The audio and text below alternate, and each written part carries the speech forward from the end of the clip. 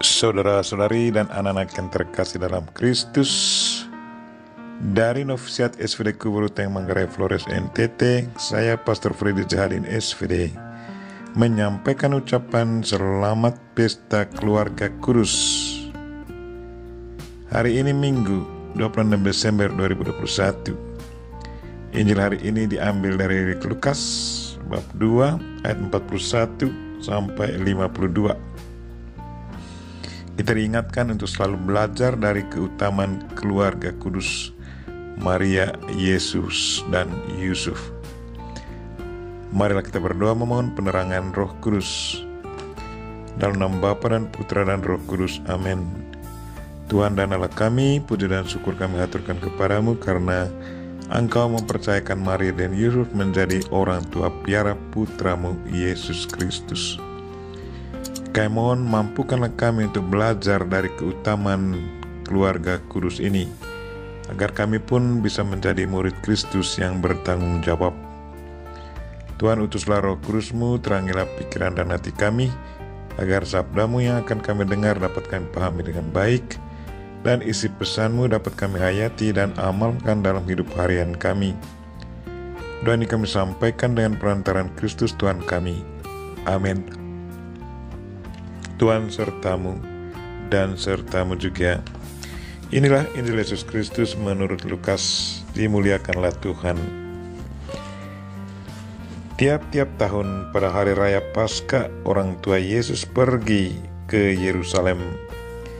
Ketika Yesus telah berumur 12 tahun, pergilah mereka ke Yerusalem seperti yang lazim pada hari raya itu. Seusai hari raya hari perayaan itu, ketika mereka berjalan pulang, tinggallah Yesus di Yerusalem tanpa diketahui orang tuanya. Karena mereka menyangka bahwa Yesus ada di antara orang-orang seperjalanan mereka.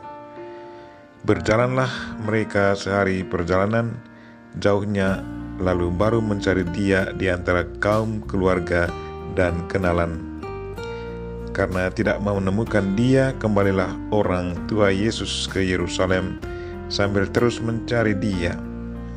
Sesudah tiga hari mereka menemukan Yesus dalam bait Allah.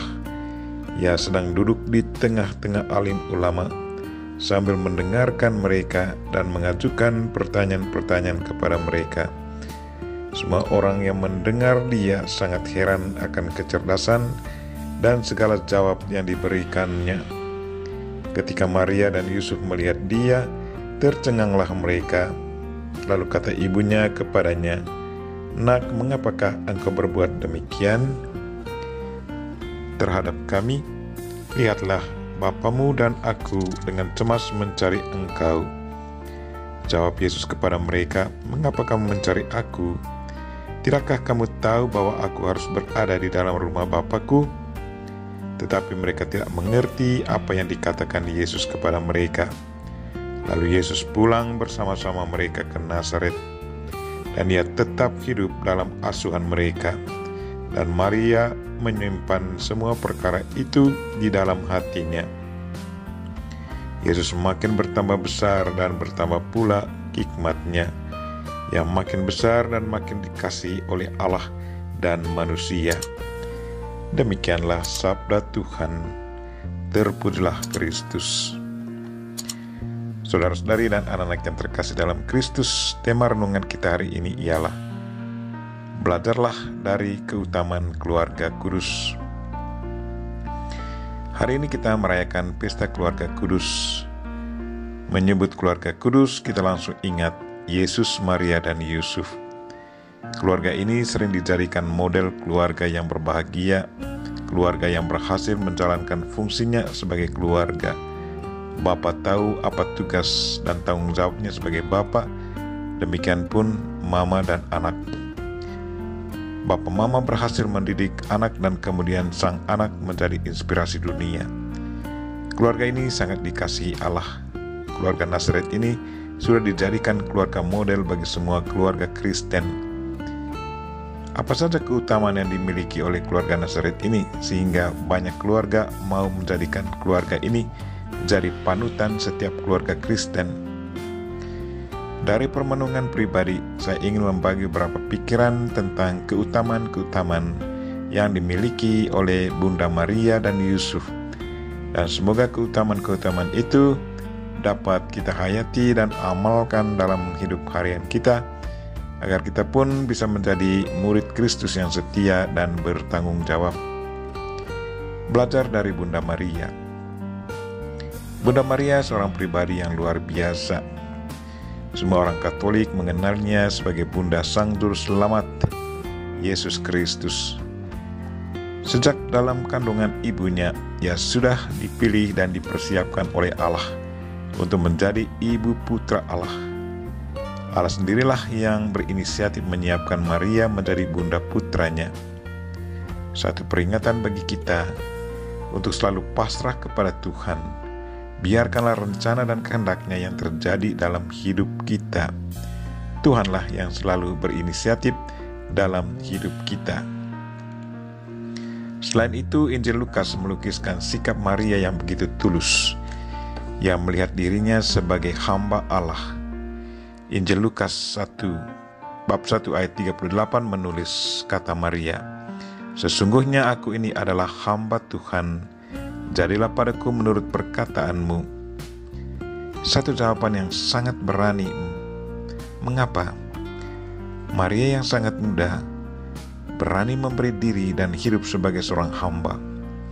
Konsekuensi dari hidup sebagai seorang hamba adalah siap menjalankan tugas apa saja dan tidak punya hak untuk menolak apa saja yang diperintahkan.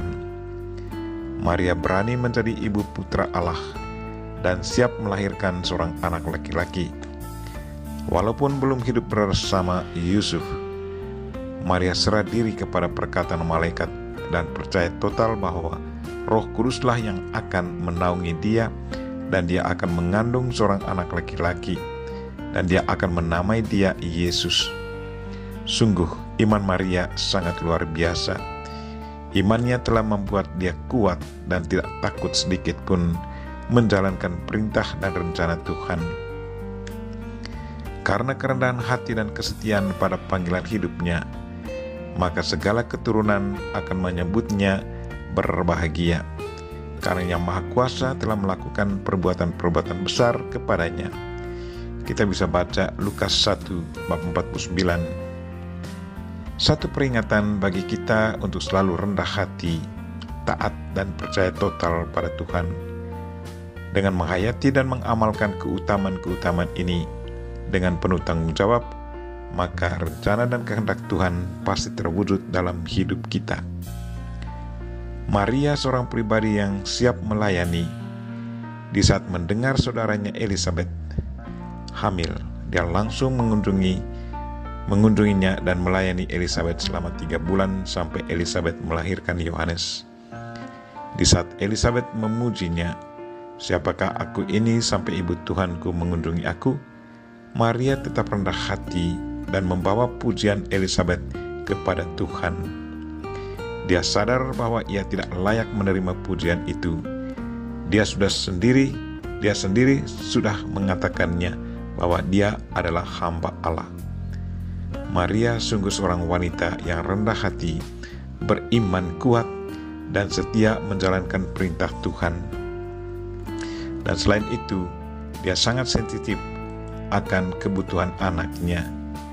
Di saat anaknya hilang, mereka bertanggung jawab mencarinya sampai dia menemukan ditemukan. Itulah kebajikan Bunda Maria yang harus kita pelajari dan ikuti. Tuh tekun mempelajari dan mengamalkannya dalam hidup, maka kita pun bisa menjadi murid Kristus yang setia dan bertanggung jawab. Belajar dari Santo Yusuf. Tidak banyak yang bisa kita ketahui dari Santo Yusuf.